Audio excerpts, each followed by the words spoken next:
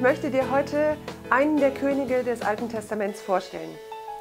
Usia wurde mit 16 Jahren zum König erhoben und hatte eine Regierungszeit von 52 Jahren. Von ihm wird ein ganz entscheidender Satz berichtet in der Bibel, nämlich der, und er tat, was recht war in den Augen des Herrn. Wir kennen das von anderen Königen im Alten Testament, dass da auch die negative Form berichtet wird. Aber hier bei Usia heißt es, er tat, was recht war in den Augen des Herrn. Und das kam daher, wie es ein paar Verse später heißt, und in den Tagen, da er den Herrn suchte, gab ihm der Herr gelingen. Den Herrn suchen heißt, dass Usia mit ganzem Sinnen und Trachten auf Gott ausgerichtet war und er wollte das, was Gott für das Volk wollte, umsetzen.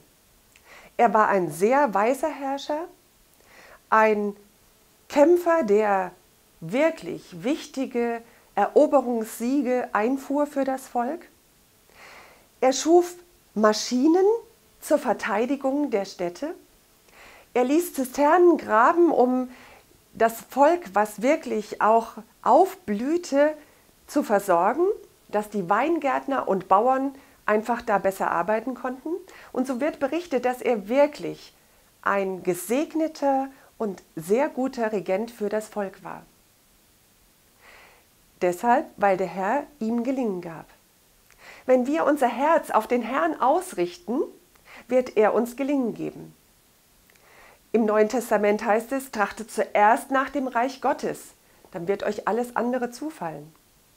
Oder wandelt würdig der Berufung, mit der ihr berufen worden seid. So heißt es in Epheser 4. Gott suchen, das heißt, mit Gott in einer guten, wachsenden Beziehung stehen und bleiben. Das heißt, mit ihm im Gespräch bleiben, im Gebet bleiben, zu hören, was möchte der Herr mir sagen, das Herz auszurichten auf das, was Gott möchte, was wir umsetzen sollen, was er in unser Leben legt, dass es zur Reife und zur Geburt kommt. Gott suchen, das heißt, den Blick fest auf ihn gerichtet zu haben, egal was für Umstände sich vor uns auftun. Gott suchen, das heißt, mit ungeteiltem Herzen nach ihm trachten. Wie war das bei Josia?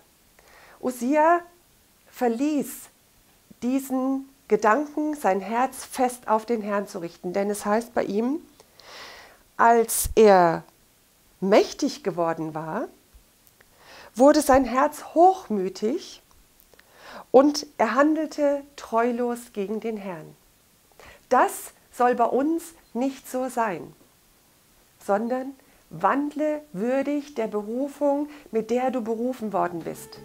Das ist heute wichtig für dich. Wandle würdig der Berufung. Lass dein Herz ungeteilt auf den Herrn gerichtet sein. Bleib in der Beziehung mit ihm und lass diese Beziehung heute wachsen.